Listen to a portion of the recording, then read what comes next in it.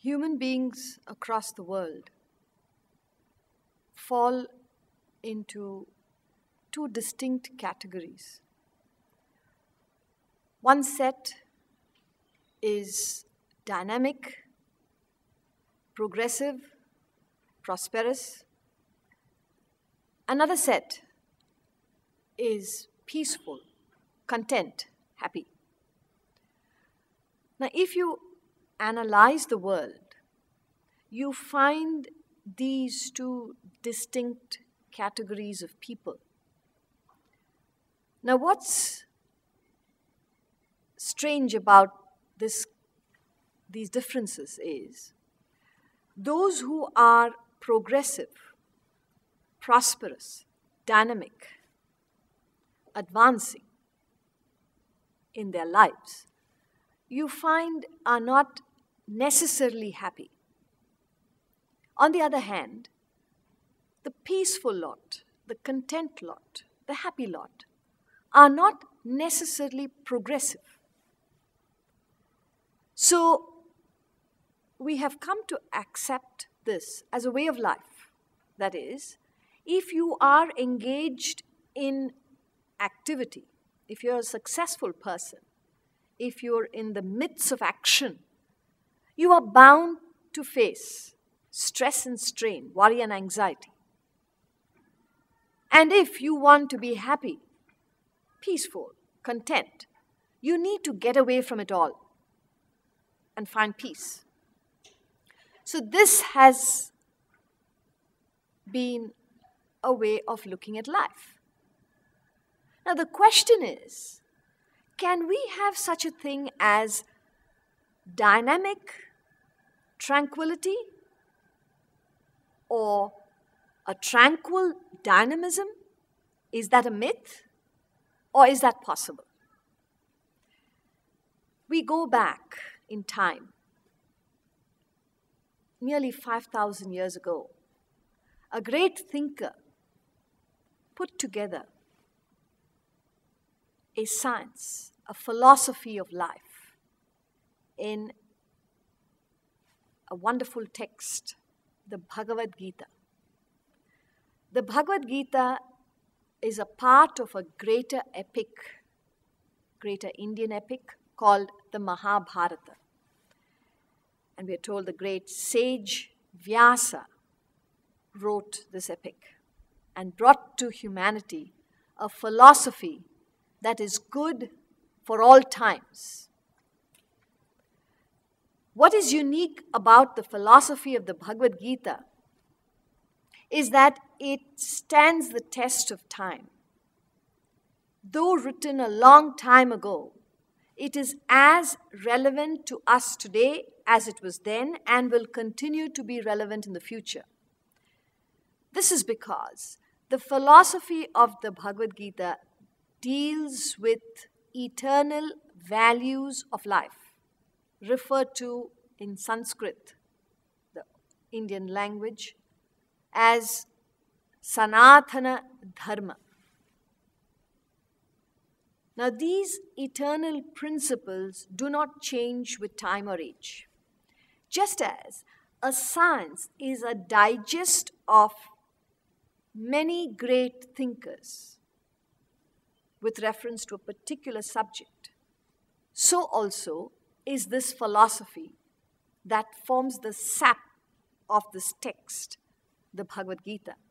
And this philosophy is called Vedanta. Vedanta simply talks about life and living. While the rest of the world and the great thinkers of the world have promoted almost every area of knowledge in this world, every subject possibly conceived pertaining to the world, there has been little or no reference whatsoever to the human, the individual. You, me. Who am I? Who are you? We are talking about the human being.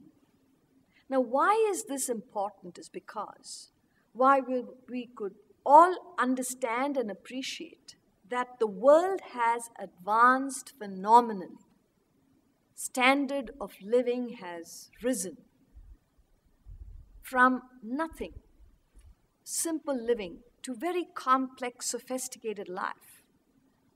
All this has happened because of science and the various areas of science that has been developed over painstaking hard work that the thinkers of the world have put together.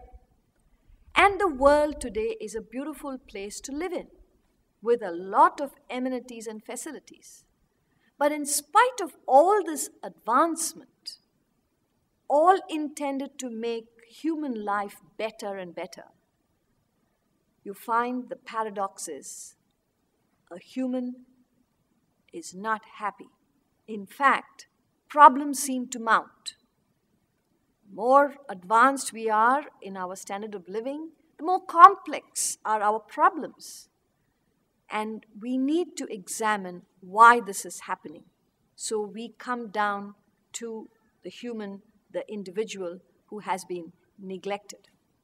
Now, here is a subject that is bringing it all back to us, explaining to us what a human being is constituted of and how do we make ourselves better beings so that we can coexist in this world happily within ourselves and in relation with others.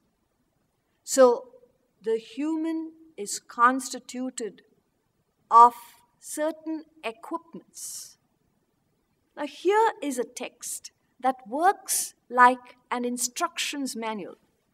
So, when you buy a new gadget and you want to use it, you look for an instructions manual. And the manual tells you all about the gadget that you have just bought, how to use it, how to bring it to its optimum, how not to misuse it, and how to keep it in good repair so that it can serve you for as long as it can. So, also is this manual, the Bhagavad Gita, that introduces yourself to yourself. With this knowledge of oneself, you could find a way by which you can better yourself, make yourself a happier person, and at the same time be productive, efficient, dynamic in the world. And as you set an example, you will find that you spread the good word around, and so we can have a society, a community, a nation, a world of better humans.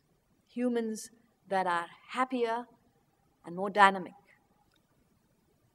The magnificent philosophy of the Bhagavad Gita translates itself into practical living, particularly with reference to our social, official, domestic lives it addresses itself to what we face in life, the challenges we face in life, as a result of which we might experience stress and strain, worry and anxiety. It also helps us deal with relationships. In life, it doesn't matter what you meet, but it matters how you meet it. Here is a philosophy that helps us to take on the challenges of the world like a sportsman takes to sport. He understands one time the world gets the better of him, and another time he gets the better of the world, but in a spirit of sportsmanship.